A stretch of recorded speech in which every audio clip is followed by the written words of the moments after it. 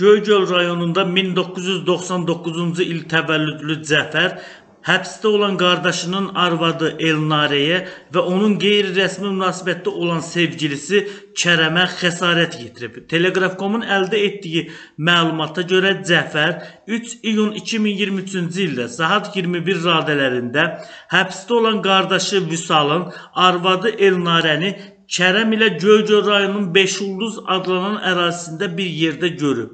O Elnarənin Kərəm ilə arasında intim münasibətinin olduğu bildikdən sonra onunla həmin şəxslər arasında şəxsi münasibətlər zəminində mübahisə baş verib.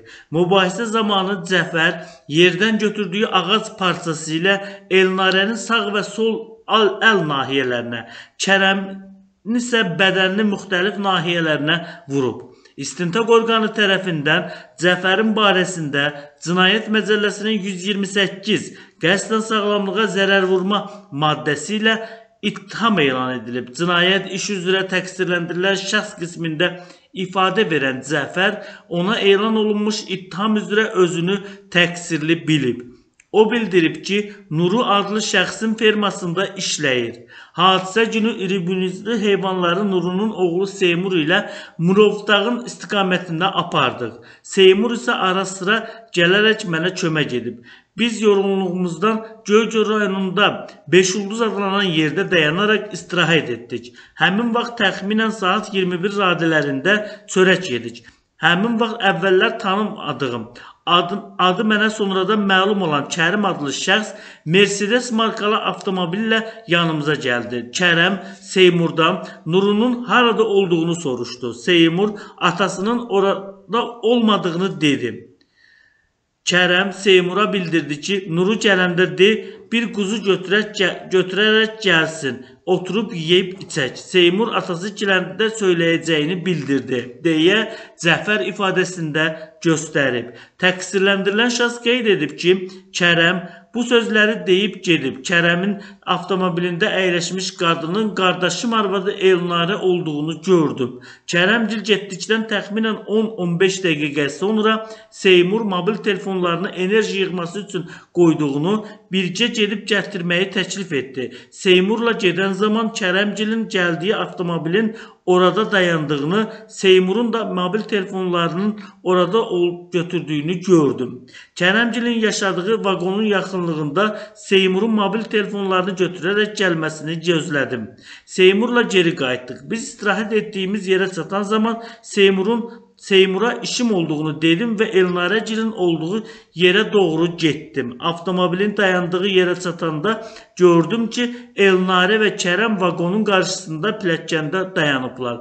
Mən istəyirdim ki, Elnarədə niyə belə etdiyini, qardaşım həbsdədir deyə başqaları ilə bir yerdə olmalısanmı deyə soruşdum. Lazım olanda ona özüm də maddi cəhətdən köməklik göstərdim etməyimi bildirdim. Əsəbi olduğumdan məqsədim Elnarəni vurmaq idi. Vaqonun yaxınlığında yerdə olan ağacı əlimə aldım. Səssizcə həyətə daxil oldum ki, məni görməsinlər. Lakin Elnarə məni gördü və qışqırmağa başladı.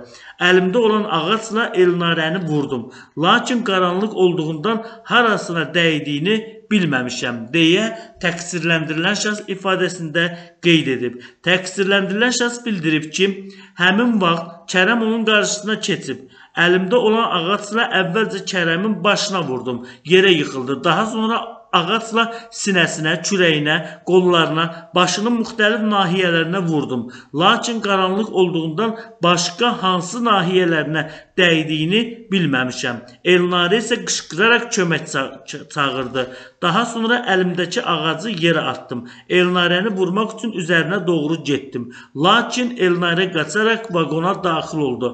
Elnarə qapını bağladı. Qapının təpikləsəm də aça bilmədim. Bu zaman Kərəm ağacla bir dəfə başımdan vurdu. Geri baxanda Kərəmin üz başının qan içində olduğunu gördüm və onun Onunla yaxalaşdıq. Bu vaxt səs-küyümüzə Seymur gəldi. Bizi ayırdı.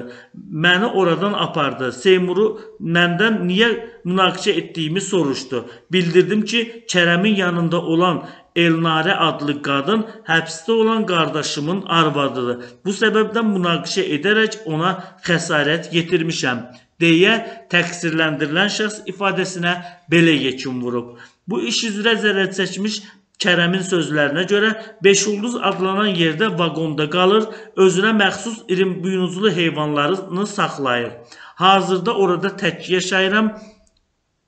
Hadisə günü təxminən saat 18:30-da tanışım adını sonradan bildiyim Seymur mənə yaxınlaşdı. Özünə məxsus mobil telefonu enerjiyə qoymaq istədiyini bildirdi. Seymur adlı şəxslə söhbət əsnasında onun tanışım Nurunun oğlu olduğunu öyrəndim. 2 ədəd mobil telefonu enerjiyə qoyduqdan sonra özümə məxsus avtomobillə Elnarəni mənə kömək etməsi üçün gedib evlərindən qaldığım vaqona gətirdim.